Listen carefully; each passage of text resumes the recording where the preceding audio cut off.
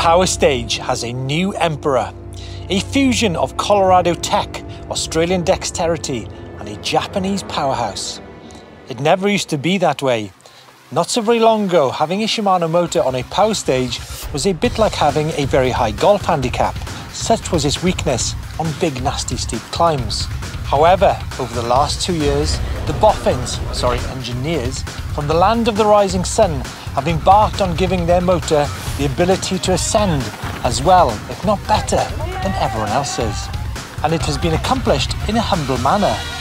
This then is the story of Shimano's successful rise to the top of the world.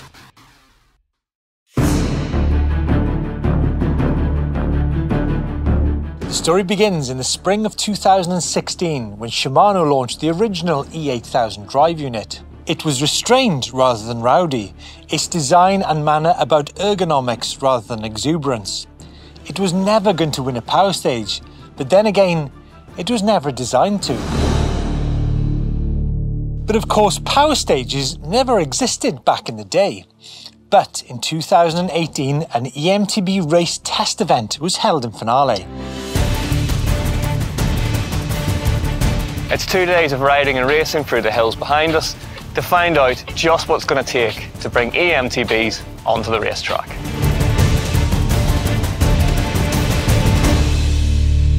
Even though this event was said to focus on bike performance, trail design and development, the days of EMTB being solely a leisure activity seemed to be numbered, and that number being torque and peak power.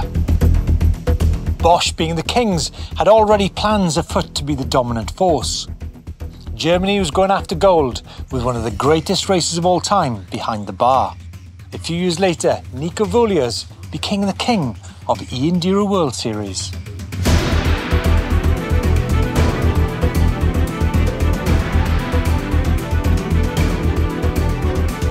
Four years later, Shimano launched the eagerly awaited EP8 unit, and even though it had improved in many ways, was still a bit of an introvert in a crowded uphill space. Having said that, it was a motor we'd ridden in some incredibly tough and technical places, in the right hands, capable of some ludicrous moves. Working in harmony with good bike design, we've never felt the need for more power, choosing instead to eke the most out of what we had. Evolution and progression, however, had different ideas, and what was to follow from Osaka was nothing short of astonishing. A technological advance in MTB that was to prove to be one of the greatest in over three decades, changing the way many of us ride EMTBs in the process. Autoshift.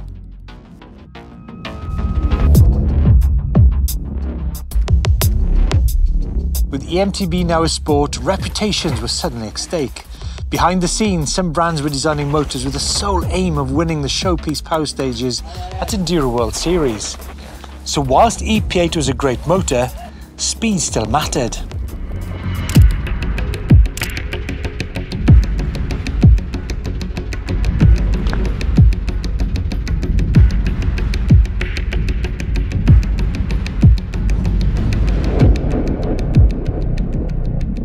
Mr. Shimano, uh, president, he uh, asked us to come to the e EDR race to win the race.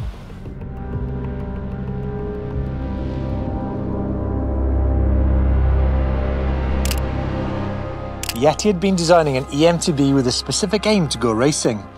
The results, however, were far from what Yeti were hoping for. Tough day on the Swiss stages ended with a mechanical for the Yeti One Up rider. Power stage, Jared Graves gets out there and within 50 yards is off the bike and looking for the walk mode. I decided to crash and uh, definitely a relearning experience on the very European style trails there. So just feel very rusty at the moment. And e-bikes is a whole new game. So just learning. But the aim was clear. They wanted to win. But who says? to 2019 or 2020, uh, we have uh, E8000 DU, but uh, already race started, but we lose the race. then we want to do something uh, next for the uh, future. Uh, decided, uh, had a decision to come to the race. In the off-season, Shimano enter the game and the EP8 racing program begins. Winning matters. The technicians were sent in to sort it all out. Uh, kind of in uh, at the end of 2021, we made the decision that we were going to go start racing. So we went looking for a team to partner with, and then in uh, 2022, the racing got underway. What was it called? Uh, it became called the Yeti Shimano EP Racing Program.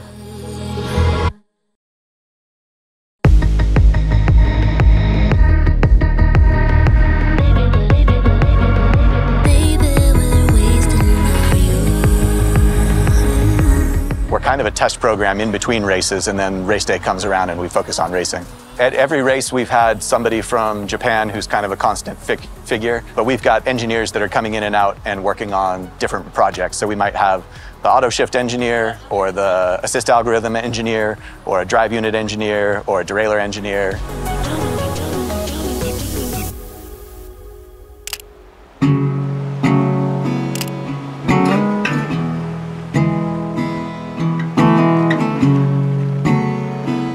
Is a practice day, and the past stage five, so very uh, technical, up and down, up and down.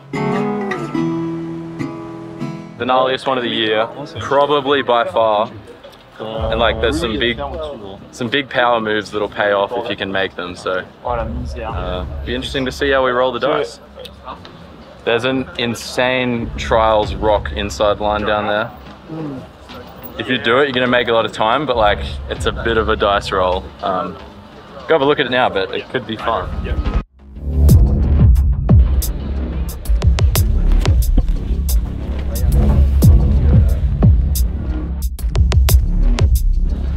But yeah, it'd be quicker if you can do it if you don't die on the logs beforehand. So, I'm not gonna do it. It's too scary for me.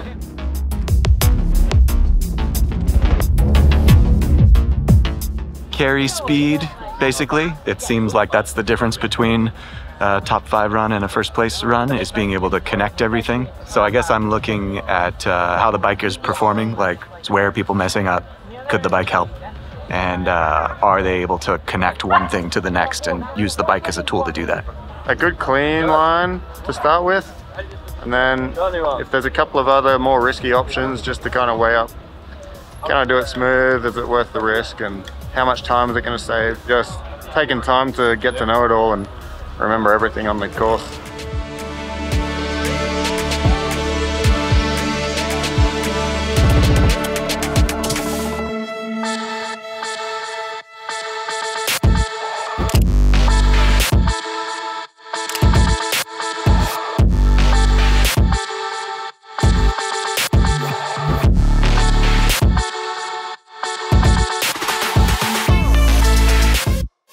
Graves otherwise engaged or licking his wounds, Mick Hannah signs. He's an ex World Cup pro downhill racer. It begins well. Top five on all stages at the Scottish Opener, even a win in one. But results show 25th on the power stage. Yeah, so back in Scotland was the first my first EDR, EEDR in 22. I was losing like 20 to 40 seconds a stage on the power stages. Same race, the technicians from Osaka roll into town. There are many things to tackle, the first one being power. To this point, the Yeti race bike has no podiums and way off the power stage, just way off. We're trying to make it feel like the mountain biker's drive unit. And so when people say it didn't feel like it was powerful enough, we're like, it's kind of the point. Like, it feels like you're the one doing the work. And so, no surprise that it wasn't doing well on power stages. Like, we didn't make it to do that. Yeah, you'd think that three minute sprint would be harder than the one minute sprint, but um, turns out climbing is a little bit of a challenge.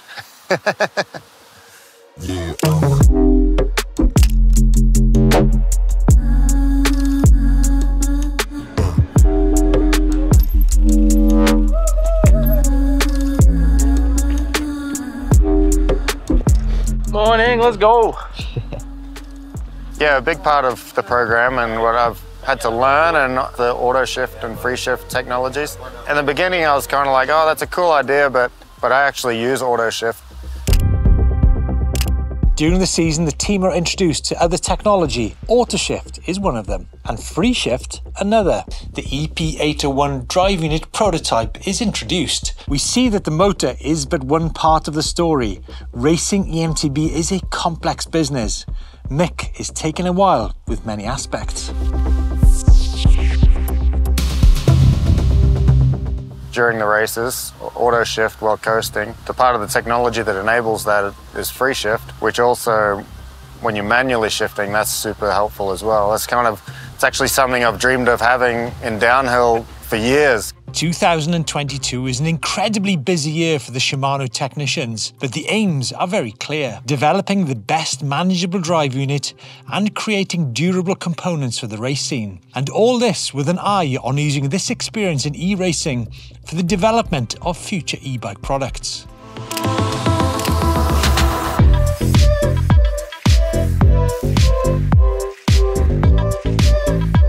Richie Rude was keeping the pressure on at the front. He won on stage 7 ahead of Giant Factory Racing's Josh Carlson.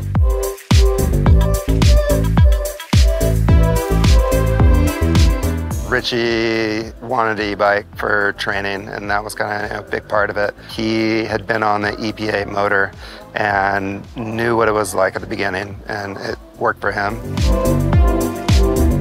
It culminates with Richie Rude jumping on the Yeti and taking a podium with three stage wins, but still not yet a power stage win, with the Shimano still many, many seconds behind. We didn't have the motor that would compete against the other brands, uh, but Shimano stepped up to the table really big and we outlined this program and what we needed and they, you know, delivered. And so to 2023. It was Ryan Gilchrist who drew first blood, taking the stage one win in the men's race. Shimano had made it, and with Gilchrist and the Yeti team finally conquering the elusive, technical, and often horrible power stage. I was looking for another rider and somebody that would, you know, work within our team I could see from our test camps that we had done previously that he was a very powerful rider with great balance and coordination, and some of the stuff that he could make the bike do was just shocking. Gilchrist's two back-to-back power stage wins at Loudonville, proving Shimano very much back in the business of power climbing. First racing finale, I wasn't too sure how it was going to go, and I came in second. I was 0.8 off the win, so immediately I just got hungry and turned myself into an 80 kilo power stage specialist. In Loudonville, we uh, struck gold and got you know, back to back one, two on the same days. And so, in the exacting and often punishing world of racing, Shimano had developed not just a fast motor, but one that had the strength and endurance to go the distance. One which would live in time and space outside the race circuit. And so to the season's end at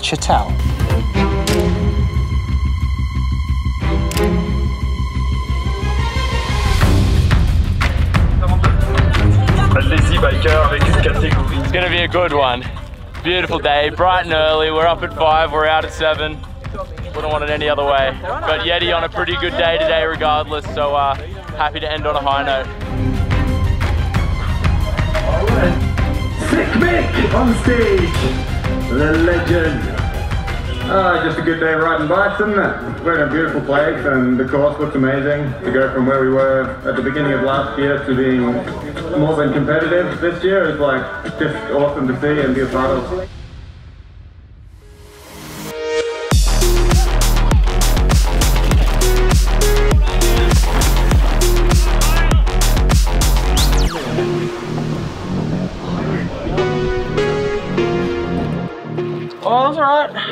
Good one in there. A couple yeah. shockers, but yeah, yeah. Yeah, not bad. Damage control. Lots of foot out slaps.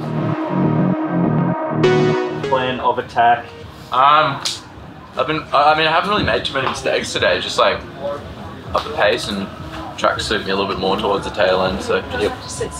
rally the end of it and yeah.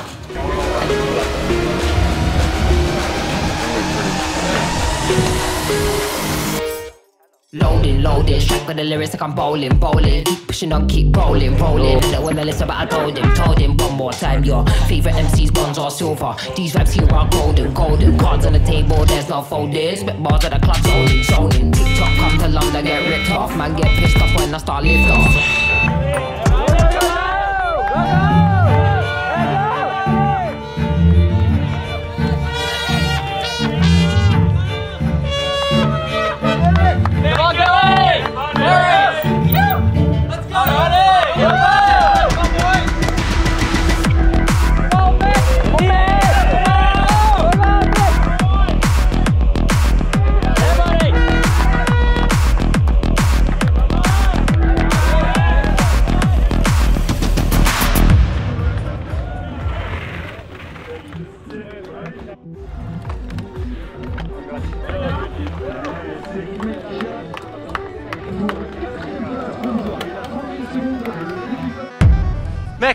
Not a bad year in the end.